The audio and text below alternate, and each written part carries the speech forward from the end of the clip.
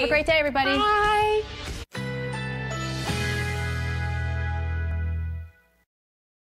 Currently in our area, 57 degrees under cloudy skies.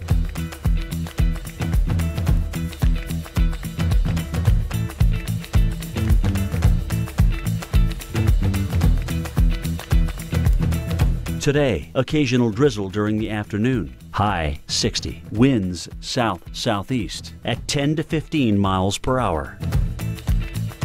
Tonight, thunderstorms early.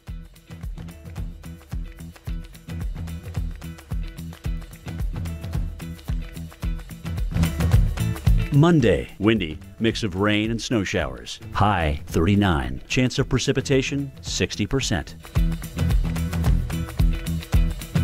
Here's our seven day outlook.